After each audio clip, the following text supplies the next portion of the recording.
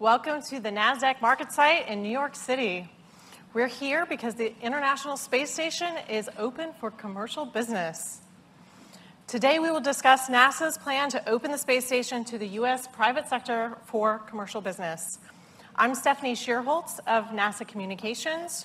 Joining me to tell us about these exciting new opportunities are Jeff DeWitt, NASA's Chief Financial Officer, Robin Gatens, Deputy Director for the International Space Station at NASA headquarters, Bill Gerstenmaier, Associate Administrator for the Human Exploration and Operations Mission Directorate at NASA headquarters. In, adi- in addition, we are joined here in the room by representatives from the Office of Space Commerce, the International Space Station U.S. National Laboratory, and 20 commercial companies. We'll begin with opening remarks from each of our panelists, then take questions from reporters. For those following online, you can ask questions using the hashtag AskNASA. Go ahead, Jeff.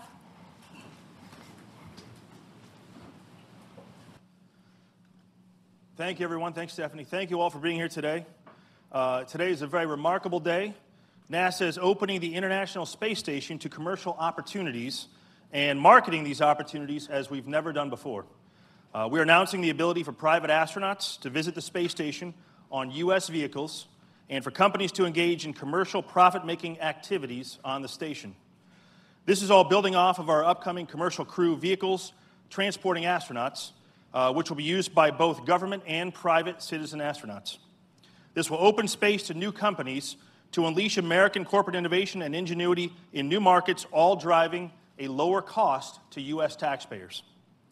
In fact, today we're joined here by the ISS National Lab and 20 of our U.S. commercial partner companies. The commercialization of low Earth orbit will enable NASA to focus resources to land the first woman and next man on the moon by 2024 as the first phase in creating a sustainable lunar presence to prepare for future missions to Mars. Thank you. Great. Thank you, Jeff. Uh, Robin, can you tell us some more details about how NASA is going to make all of this possible? Absolutely. Thanks, Stephanie.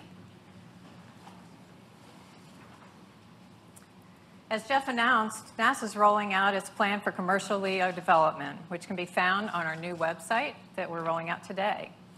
Last fall, NASA selected 12 companies to conduct studies to assess potential growth of a low Earth orbit economy and how to best stimulate private demand for commercial human spaceflight. We have representatives from these companies here with us today, as Jeff just mentioned. Key findings from the studies informed the plan that we'll be rolling out today. Uh, those include how commercial companies can make money in space by providing accommodations, facilities, in-space manufacturing, marketing, and more. Early on, NASA's use of and payment to destinations will be a key enabler for the emerging commercial market.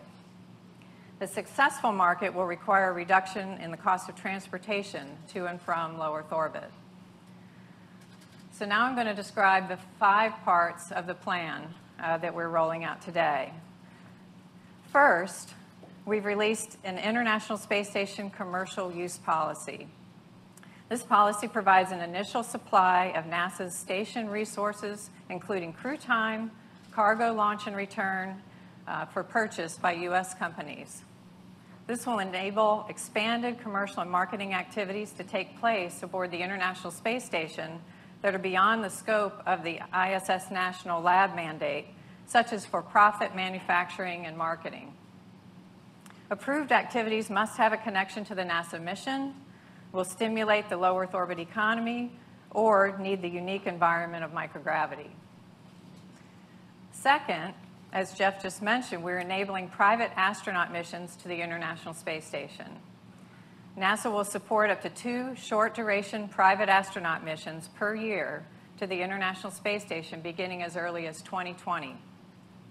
These missions will be privately funded dedicated commercial space flights allowing approved commercial activities to be conducted on board the station. Private astronaut missions will use a U.S. spacecraft developed under NASA's Commercial Crew Program. Our new commercial use policy will also cover pricing for private astronaut mission use of station resources, including life support systems, crew supplies, stowage, power, and data.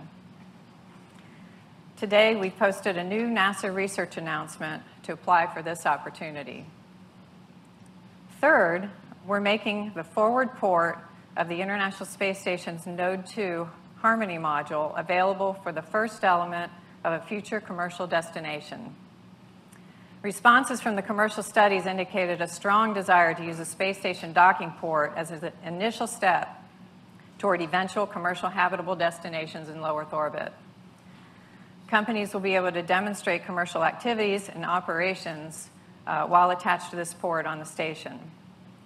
A synopsis of the solicitation released today, uh, will be followed by a request for proposals on June 14th, and NASA expects to award the port by the end of the fiscal year. In addition, NASA will be issuing a solicitation for a free-flying commercial destination to follow the docking port solicitation. Through this pair of solicitations, NASA will partner with industry to develop habitable low Earth orbit destinations that can one day meet NASA's needs as one of many customers. Fourth, we're seeking out opportunities to stimulate long-term sustainable demand. Without demand, we can't have a sustainable economy where NASA becomes one of many customers. Earlier this year, we released two NASA research announcements to focus on stimulating specific areas, such as in-space manufacturing, regenerative medicine, and other critical research areas that derive unique benefits from the microgravity environment, and creating laboratory concepts similar to capabilities found in terrestrial labs. Uh, white papers for this are due June 15th, uh, with proposals due July 28th. And just today, we've released a synopsis for an Appendix J to the next, next Space Technologies for Exploration Partnerships, NextSTEP, broad area announcement to request proposals from U.S. entities with a focus on approaches to reducing transportation costs to and from low Earth orbit destinations, understanding the transportation-driven price elasticity on demand for existing and potential low Earth orbit commercial markets, opportunities to broaden the base of industry, academia, and government researchers seeking to use low Earth orbit capabilities, and we'll consider other proposals that identify innovative opportunities to foster long-term market growth. Lastly, we've published a white paper defining NASA's minimum long-term requirements for low Earth orbit. NASA's providing this forecast so commercial destination providers can make business case assessments with greater knowledge about services that NASA intends to purchase as one of many customers. NASA's ongoing needs in low Earth orbit are expected to include crew accommodation for training and research, human research, biological and physical sciences research, technology demonstration and test beds, hosted science instruments, and an ongoing national laboratory capability for non-NASA government, academic, and commercial incubation use. So I've described our five-part plan at a pretty high level here. Uh, for a lot more information on all these opportunities, please visit our new website. And in addition, we're requesting feedback on our plan via a request for information also found on the website. Thank you.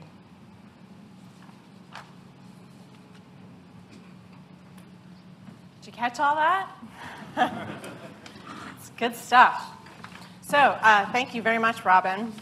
Uh, Bill, now we'll go to you. Uh, hopefully, you can share your perspective of all of this. Right. Thanks, Stephanie. I'm really excited uh, to be here today and think about all the possibilities that this plan can bring. It, it's really fitting we're here at NASDAQ to talk about this because I think we need to think of a different way of doing business and the way we can use commercial low Earth orbit. I mean, you're all from kind of the space industry. You do things with us all the time. But, but how could we ever imagine that this space station would have any role when it was originally designed and put in space to have any role in developing new business markets? But today, you're part of that activity as we think about how this space station we put together to do research, to do education, to do outreach, to do development is now going to be used to help put together a business plan and business model. So this is an exciting day for all of us today. More than 50 companies are already conducting uh, commercial research and development on the space station via the International Space Station U.S. National Laboratory, and their results are yielding great promise. In addition, NASA's worked with 11 different companies to install 14 commercial facilities on the space station that support research and development projects for NASA and the, and the ISS National Lab. Many of the, these companies are represented here today we have no idea what kinds of creativity and literally out of the world ideas can come from private industry. We've tried to define many of the key parameters necessary for a company to build a business plan. However, the market and services that can be used to generate revenue will need to be generated by the creative and entrepreneurial private sector. We've given you the basic roadmap. Robin's laid out all the five components that we've got together. We've got all the pieces, but it's now up to you to use your creativity, your ingenuity, and figure out how you can generate potentially revenue from these, these pieces. We'll work together with you as Robin described. We don't have it perfect the first time around. We'll receive comments back from you, and we'll figure out a way to keep moving forward. This plan does not conflict with the government needs for the space station nor the Center for Advancement of Science and Space CASIS that manages the ISS National Lab but it allows the private sector access to the most amazing research facility ever built by humankind. So you can use this facility to generate revenue for yourselves. This is a huge different way for us doing business. NASA's activities we have described today stimulate and enable the next step in development of an emerging market, and we expect to learn and make adjustments. The private sector will have the opportunity to think creatively and create new markets. NASA's approach is designed to lower but not totally remove the risk from the private sector entrepreneurs and companies. NASA goal, NASA's goal is ultimately to be one of many users in the next generation of low Earth orbit research facilities. NASA is allowing the private sector access to the International Space Station to enable the next generation of low Earth orbit research facilities. NASA, by its very nature, is an exploration agency. We like to challenge the status quo and discover new things. We like to solve impossible problems and do amazing things. NASA only realizes that, that we need help. NASA realizes that we need help. We can't do this alone. We need everyone to help us moving forward. We need the pri- we're reaching out to the U.S. private sector to see if you can push the economic frontier into space. This is a shift for NASA that will be beneficial for the American economy and for the American citizens. The commercialization of low Earth orbit will enable NASA to focus resources to land the first woman and the next man on the moon by 2024 as the first phase in creating a sustainable lunar presence and preparing for missions to Mars. We are moving human presence into the solar system, and U.S. private sector will be a part of that endeavor. We welcome the private sector and business sectors to our team. Thank you especially to all of you for coming here today to be part of this activity.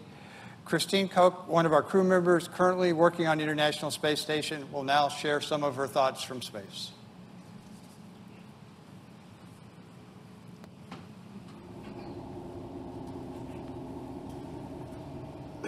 Hi, I'm astronaut Christina Koch. Those of us who have had the privilege to live and work aboard the International Space Station over the last 20 years know what an incredible experience it is and the unique value of the microgravity environment for research, development, and technology advancement. We are so excited to be part of NASA as our home and laboratory in space transitions into being accessible to expanded commercial and marketing opportunities, as well as to private astronauts. Enabling a vibrant economy in low Earth orbit has always been a driving element of the space station program and will make space more accessible to all Americans. Transitioning toward this new model of business is an important step to enable NASA to move full speed ahead toward our goal of landing the first woman and the next man on the moon. Commercial companies will play an important role both here in low Earth orbit and around the moon, working with NASA to test technologies, train astronauts, and develop a sustainable human presence.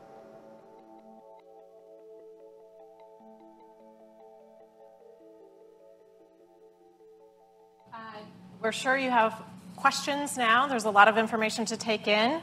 Uh, we will take questions. We'll start in the room for reporters.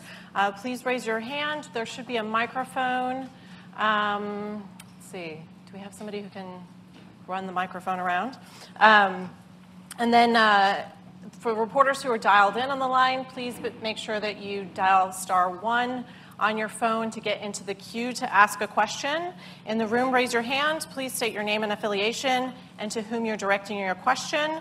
Please ask only one question so everybody will have an opportunity. And uh, we'll go ahead and get started with Lauren. Hey, Lauren Grush with The Verge. Thanks for taking my question. So I'd really love some clarification about what was prohibited before this announcement and what is exactly changing and what is the legislation that is in place or, or was any legislation in order for this change to take place? Thank you. Robin, that's probably you. Probably Gerst or Robin. Take Robert, that. you- Yeah. I'll take a piece. Yeah, so what, what is changing is, uh, before, we've had the ISS National Laboratory um, that operates uh, and brings in and stimulates demand for low Earth orbit. And uh, they're focused on, and their mandate is for research and development activities, um, but not for, uh, if a, if a manufacturing uh, effort turns into a for-profit activity or activities like marketing and advertising, uh, that's, that's beyond the mandate. So we wanted to open that up for commercial companies to, uh, to participate in those kinds of activities. No legislative change was required to do that. It's simply a policy change on NASA's part. So that's the NASA interim directive. If you look for that, that outlines what is now enabled and prohibited. So this was always an option that you could have had. It's just a policy change within NASA. And I think the other thing that's important is we've actually defined it. So you can go out and look at this, and you can see exactly what's allowed, what's not allowed. Um, There's certain things, if the, if the uh, private astronaut goes to station, the, the breadth of activities they can participate in is much broader. They can do more activities. Um, It also clarifies some of the roles of NASA. So what we try to do is remove some of the ambiguity that sat out there before with the legislation authority we had, try to define it in a way that we think is forward-leaning and lets companies then take an advantage and generate some revenue in space. So again, we, we open this up. This is the beginning. We can get some iteration. We look for some comments back. If it's still too restrictive from a commercial perspective, that's, co- that's comments that come back to us, and then we could go pursue legislation. So this is the beginning of us actively starting an open dialogue with industry to figure out how we can open up space to the commercial activities where revenue can be generated for private sector companies. And that's a very different way. So we- we leveraged off of what we've got. We know it may not be sufficient, but it's defined. People can see it. They can represent and ask questions to us, and we can change and move forward. So this is going to be a growing and learning experience for both of us. If I can toss one more thing in, which is we didn't need any policy change, um, but we did have some teams, Doug Comstock and his group went, we met with our key stakeholders up on the Hill in the House of Senate and uh, with OMB, and the response that we've been getting from our key stakeholders uh, is very positive towards this move. And it's an allocation as well. So NASA is setting aside 5% of NASA's resources on the station to enable these activities. Okay, next question. Hi, uh, Miriam Kramer with Axios. Uh, so I'm sort of curious. eh, I know that this is just the beginning, but when you're looking to, you know, maybe 10 years out or nine years out, uh, what does the space station look like at that point? Is it are, are we just having private astronauts there? What, what's what's the deal with the space station? I mean, there's a couple of views, but I think, you know, eventually the space station we have, the, the International Space Station will wear out. The physical hardware won't be able to be maintained. It'll become cost prohibitive for us to keep us operating. So the vision here is to start early. So then there could be potentially a private sector station that serves NASA's needs. So the, the fifth point that Robin talked about is what we envision as NASA's future needs. So we can say in the future, we intend to buy these kind of services, these kind of things, or things that we want to do. Then if that marries with what a private sector space station would like to do for their own revenue generating things, we can show them what our portion of the market is. So I think what we're doing is we're trying to be proactive. We recognize there's a physical end to the space station just because of its life. Now is the time to start proactively having those discussions because we know it'll take time for the private sector to come up to go see how this comes together and moves forward. So that's the intent of what we're trying to do. Great, next question. Michael Sheetz with CNBC. Two questions on the private astronaut aspect of this. Uh, first, have you, how many astronauts per year would you expect to fly underneath this proposal? And second, uh, will these astronauts be facilitated through NASA, or will NASA just be giving the okay to the private companies to sell seats on their rides? So we're enabling up to two uh, commercial uh, flights with private astronauts per year. So depending on how many seats they want to carry, that would be, you know, a dozen or so private astronauts potentially per year on the International Space Station.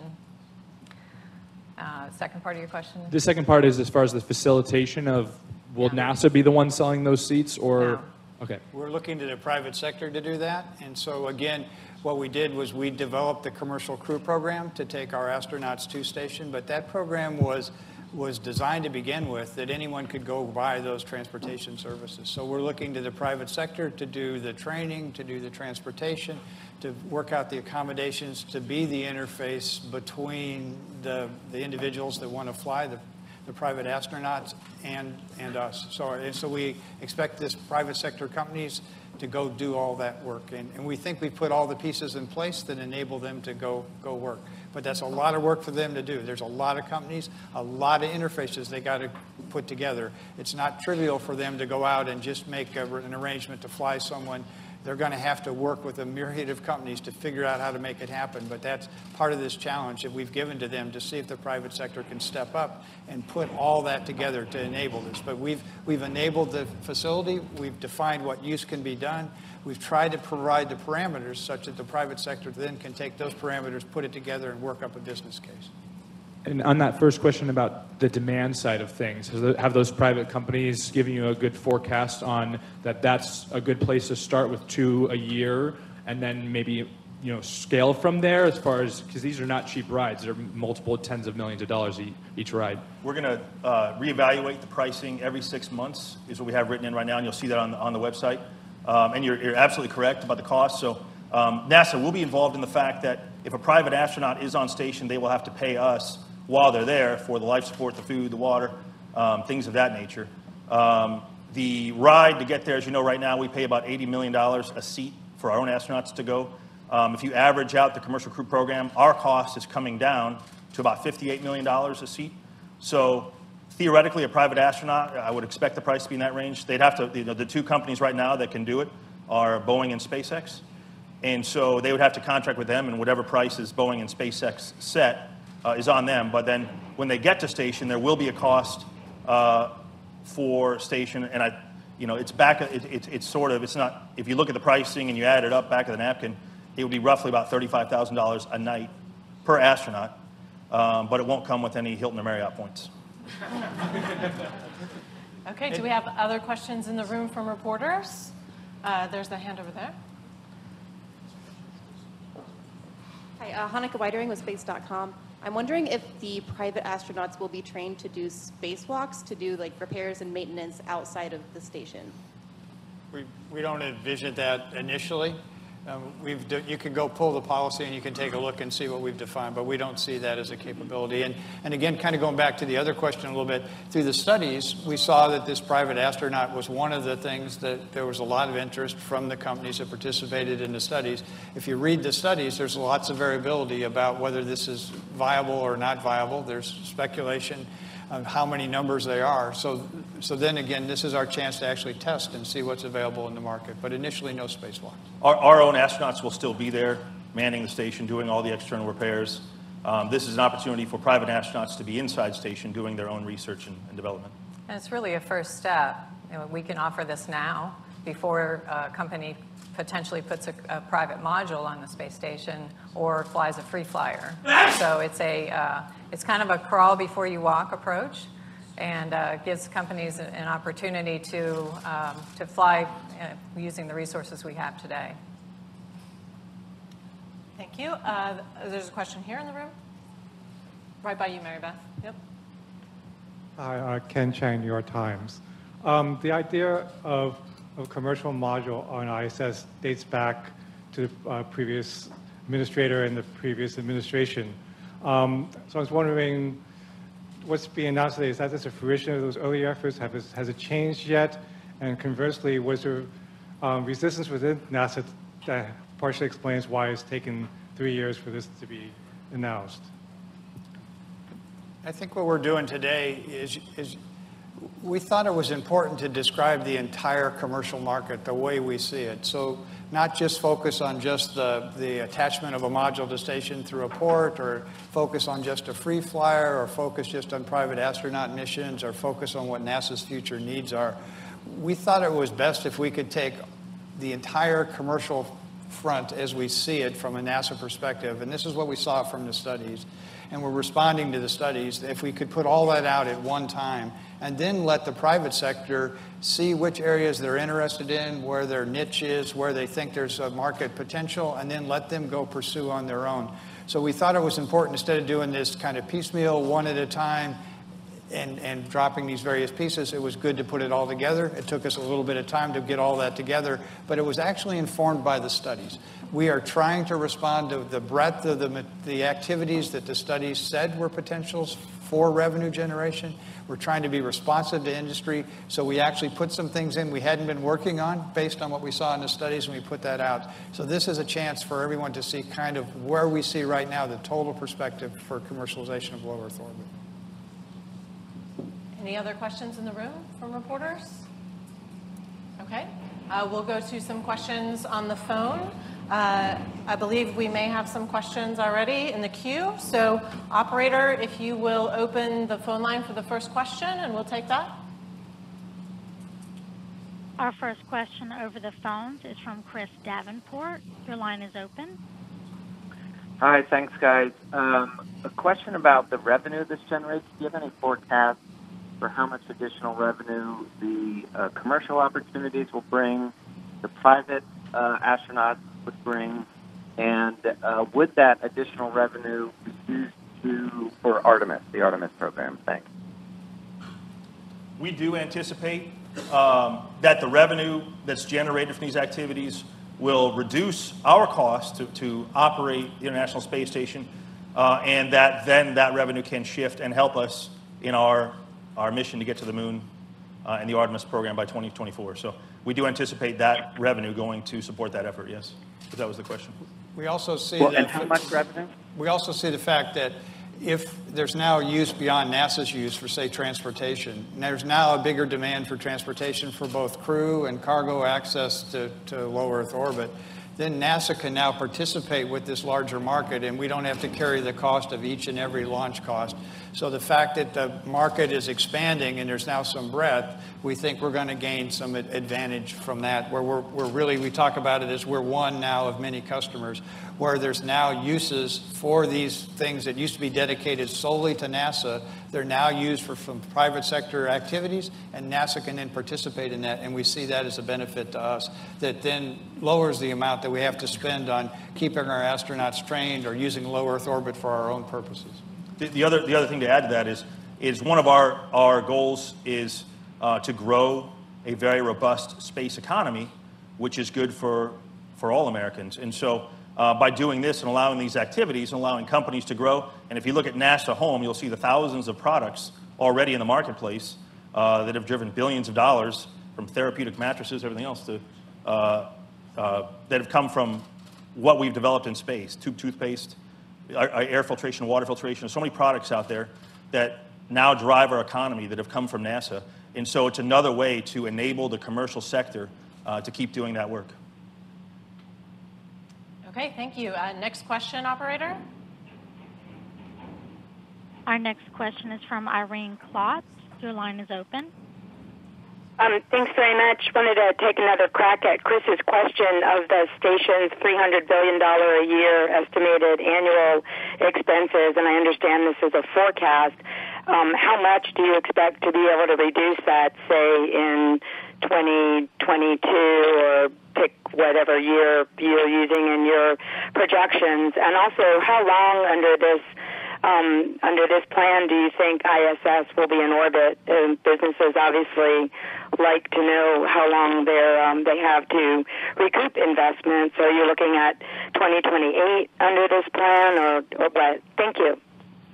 Again, this is the rollout, and we have 20 U.S. companies here and there are already 50 U.S. companies that do experiments on the space station. So Um, it's hard to project what's going to come back. What we're hearing is, is a lot of excitement in the commercial uh, sector for this, but it's hard to get accurate projections until six or 12 months from now when we see what actually comes back in and, and who partners with us. And again, if the demand is very, very strong, we'll adjust the pricing upward accordingly.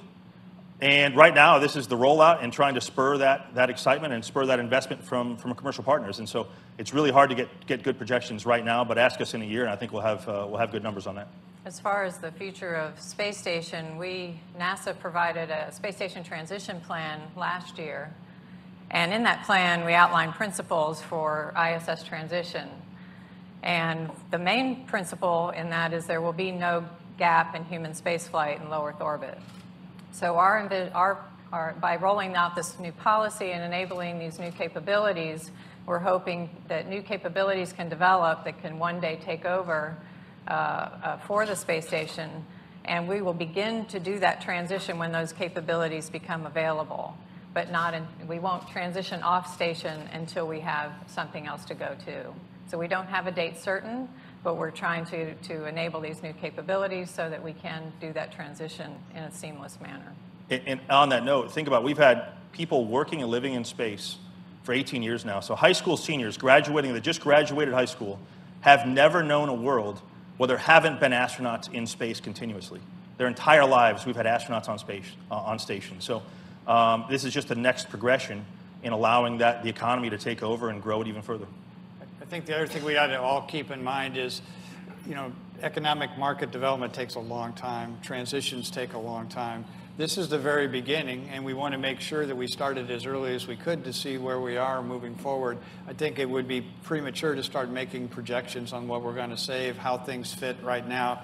We need to experiment. We need to see what's happening. We need to make changes. We need to adapt and move forward. And we need to recognize it's going to take a little bit of time for this stuff to happen. So this is not going to be it's NASA today, it's all the commercial sector tomorrow. This is going to be a nice transition period between us. But, it, but this allows NASA to stay focused on the large, longer term things, going back to the moon, pushing human presence deeper into space. It's showing that NASA is willing to let go and see if the private sector over time can take over low Earth orbit, and that's our vision moving forward. Thanks. And does the prohibition on marketing and advertising stay in place?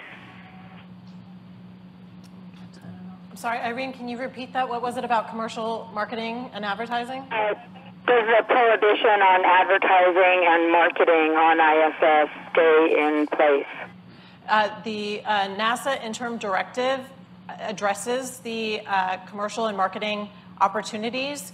And Robin, do you want to describe that more in detail about uh, what U.S. government astronauts will be allowed to do for commercial and marketing activities and what private astronauts will be allowed to do?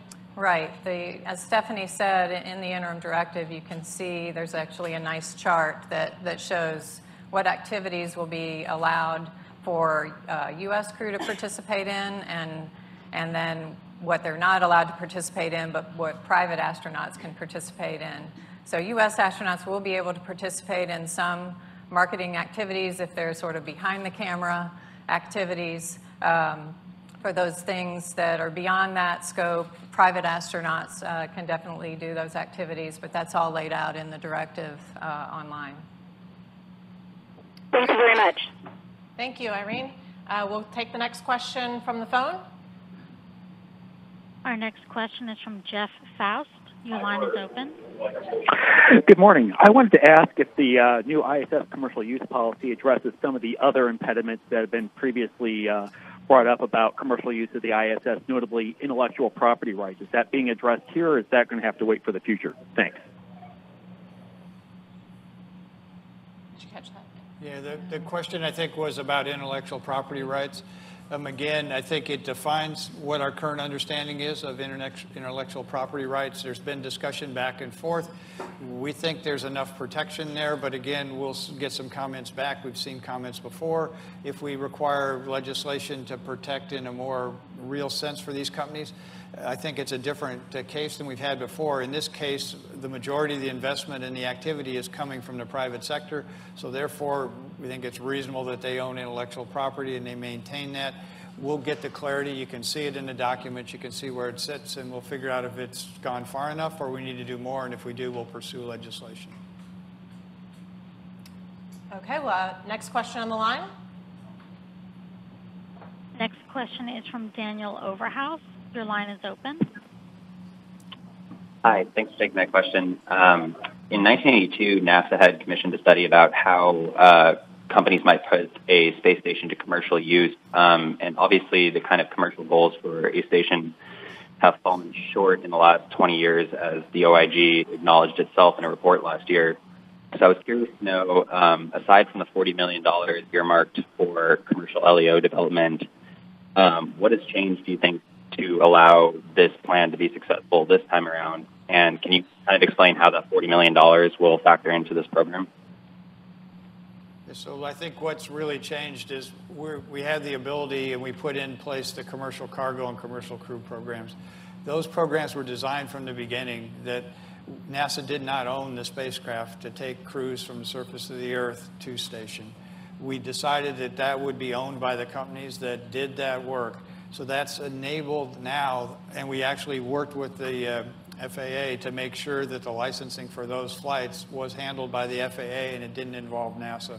So from the very beginning, we enabled a key piece of operating in space, the transportation and taking supplies to space, to be done by private industry.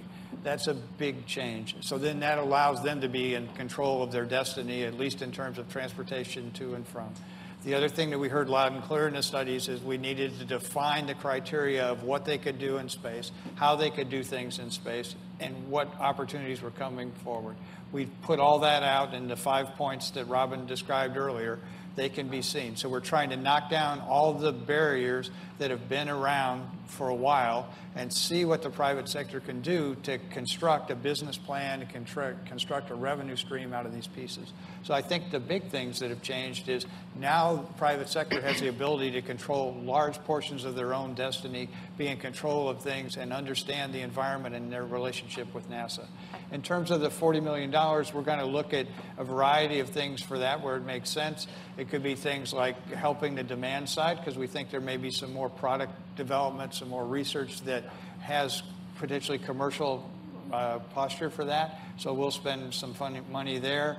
We'll spend a little bit of money maybe helping things moving forward, but it's not pure commercialization. It's about how we can effectively enable this uh, infrastructure moving forward. And we'll see when we get proposals back to our various solicitations what companies are requesting from NASA. Is it money? Is it expertise? Is it the port? You know, what kinds of resources does NASA have that will help enable these new capabilities? So we'll go off of those proposal requests as well. But as, as Bill said, we will split the money uh, between both what we call the supply side and the demand side because we want to stimulate demand as well as uh, these new capabilities.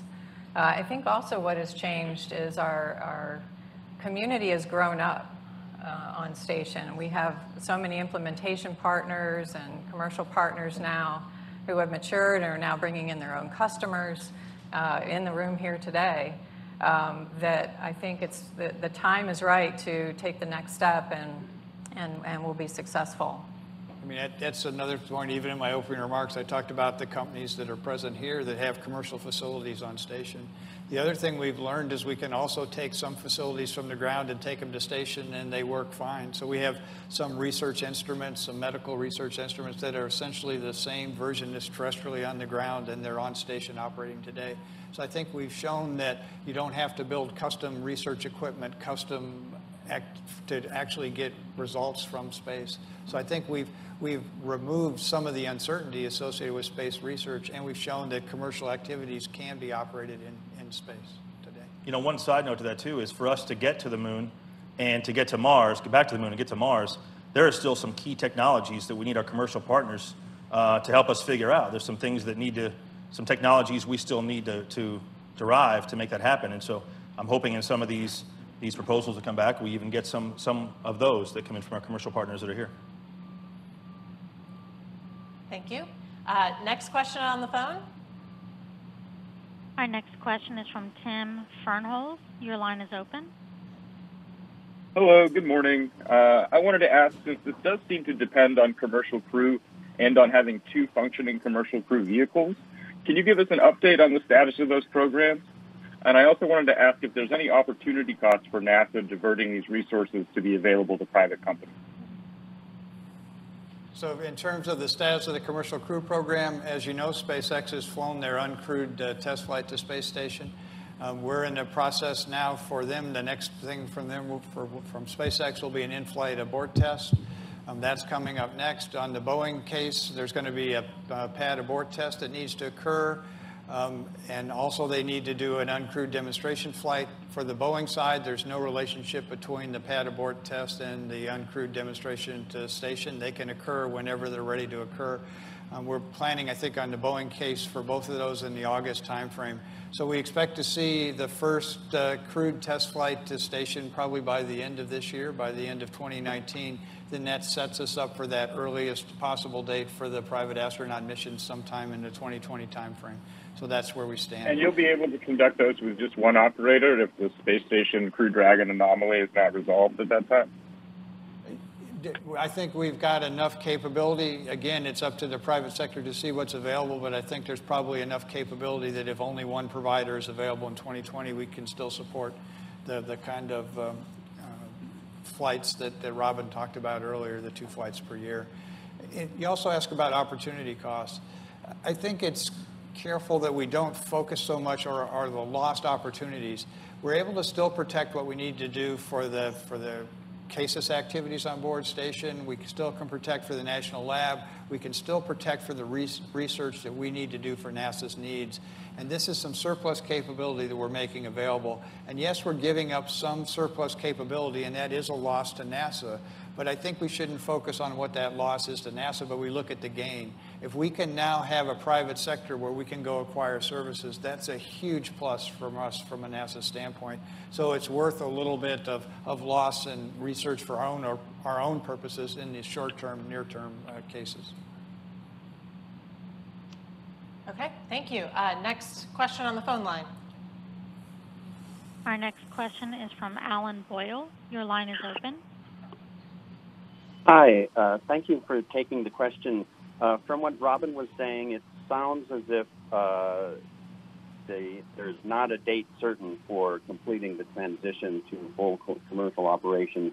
I know at one point there was talk about pending direct support for the space station by 2025. Is that date not operable, or, or are you still thinking about trying to make the transition by that date?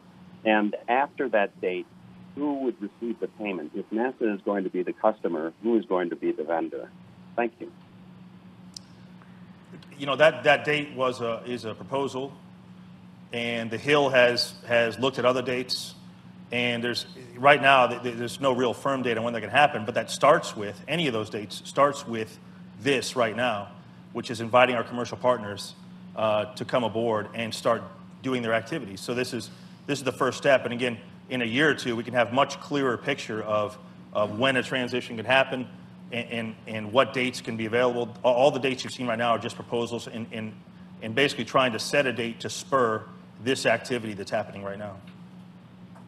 As far as who, who's the vendor going to be, I think uh, someone in this room could be the vendor, or multiple entities in this room could be the vendor. Uh, that's that's uh, what what why we're rolling out this, uh, this plan, and we're looking forward to uh, partnering with our commercial providers and trying to enable as many capabilities as we possibly can. Thank you, Tim. Uh, next question on the phone. Our next question is from Robert Pearlman. Your line is open. Hi. Um, thinking back uh, uh, about the history of the space station and NASA's activities on board that could sort of fall under marketing. In the past, that's all that's sort of fallen under educational outreach in terms of working with like Disney or Lego or uplifting movies for studios. So will NASA now step back from those types of activities so it's not to undercut uh, a commercial opportunity, or is there any type of conflict there? Again, I think you bring up a very interesting point, like the education activities, the outreach stuff that we've done with LEGO and others on board station. Um, I think we need to see what comes forward in these proposals, see what happens, see if the private sector is stepping up. I mean, we still have the, the, uh, the need to do education and outreach to inspire the next generation, to help students get inspired for science, technology, engineering, and math. We'll see if the private sector steps up and if there's enough there.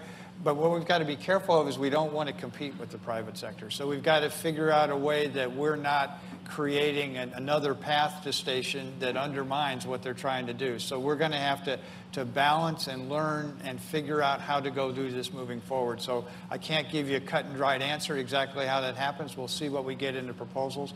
I think we have a clear desire for education outreach. We have a clear desire to use station to continue to do the public you know, pur purposes that it's doing today.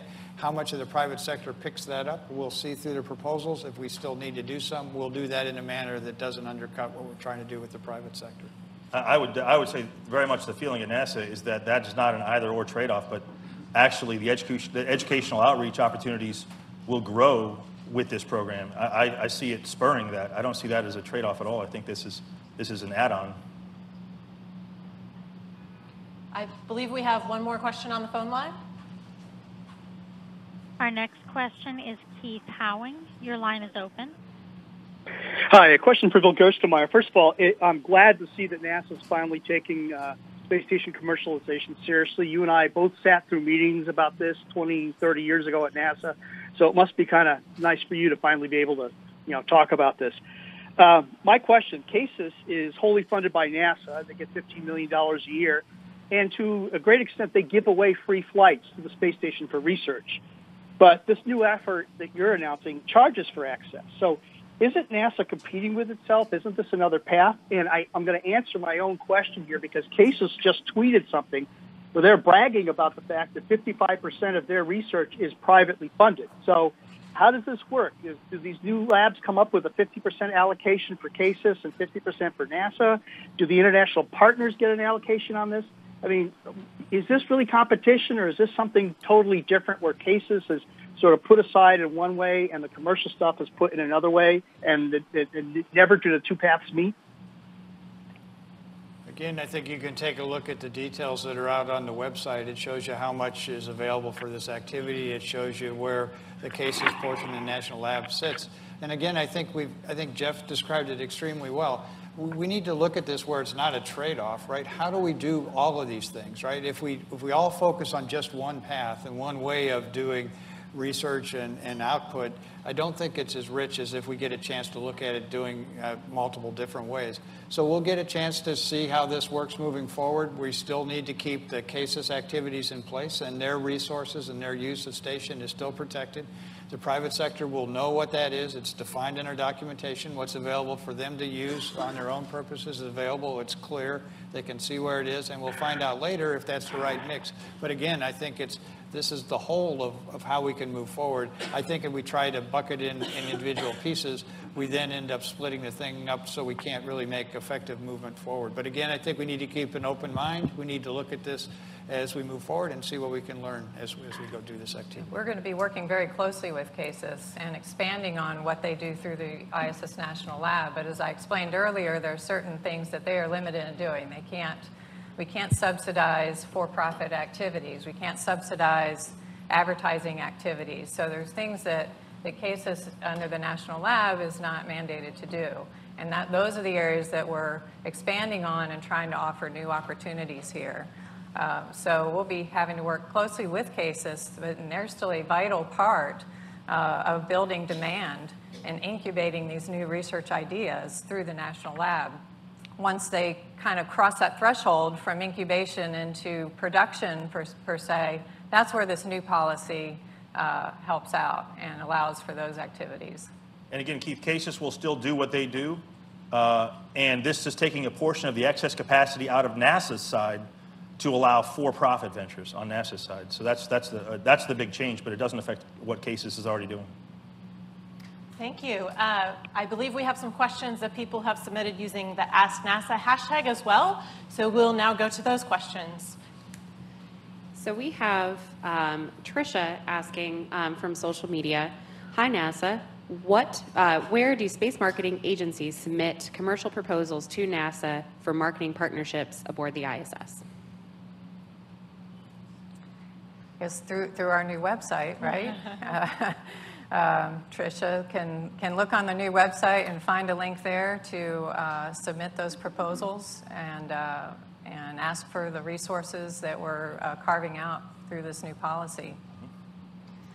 And the, the NASA news release that we issued includes a breakout with hyperlinks to all the relative, relevant uh, places to go. I believe it's what, nasa.gov forward slash LEO for low Earth orbit hyphen economy. And uh, another question from D Trapezoid. Uh, what metrics will you use for awarding a commercial bid to access the ISS for marketing and travel? Uh, highest bidder, what are you doing to ensure a fair market in this transition with regards to sustainability and social media tourism regulations, maintaining core NASA missions? So I believe our policy is first come, first serve. Uh, any one entity is limited uh, to the amount of resources that we've allocated on, on, a single purchase, and that's outlined in the policy. But they do have to meet one of three basic requirements, which uh, Robin mentioned in her opening remarks. A nexus to NASA's mission, uh, unique need for microgravity, and show that uh, you can expand the commercial market. Next question. Next one uh, from Petra. Will NASA get to keep the revenue generated uh, from commercial operations? No. we don't keep any, you know, we're a government agency. We don't keep any revenue if you really look at it. But um, again, this, isn't, this is not going to be a profit making venture for NASA at all, but it will defray some of our expenses and, and the prices we're putting up there uh, are a portion of our expenses uh, to maintain stations. So just to phrase some of our expenses, which we then can use uh, to go further into space and get to Mars. And our last one from Jose. Uh, what's the legislative nature for private astronauts? Will it be restricted to U.S. citizens only? I believe that that is yes, right? I would meet you, Christy. um, so I'll, I'll, I'll answer. um, the, uh, so for, um, for us and our, and our policy, we're restricting that to U.S. entities. Um, we will allow the, the commercial market to talk with whoever they need to on uh, private astronauts. So private, uh, private astronauts from other countries can fly through a U.S. entity. Correct. Yes, great. Those are great questions. Thank you all for joining us in the room, on the phone, online. It's a very exciting day for us here at NASA. Uh, but that's all the time I think we have for our news conference this morning. NASDAQ is hosting additional NASA experts and representatives from the companies here today for a discussion that will air on its Facebook page beginning at 11:30 a.m. We hope you'll tune into that at facebook.com/nasdaq. And of course, we have lots of new material for you to read over the weekend, uh, available online at nasa.gov. Uh, you can read all the details and find links to the various open opportunities to conduct business at the International Space Station. Thank you.